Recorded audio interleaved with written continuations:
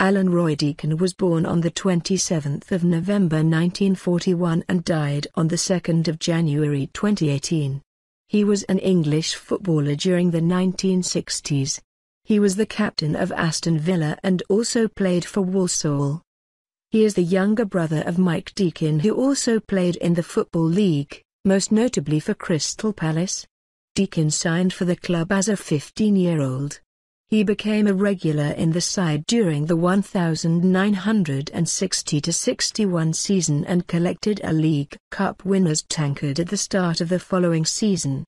He broke his ankle during the 1964-65 season, but recovered to skipper the side for the 1966-67 season. Deakin also played for the England under-23 team. Deakin left Villa Park for Walsall in 1969, having made 231 league appearances for the club and scored 9 goals. He went on to play 50 league games for Walsall before moving to Tamworth FC for a further two years of football then retiring in 1974. On retirement from the game he became a welder.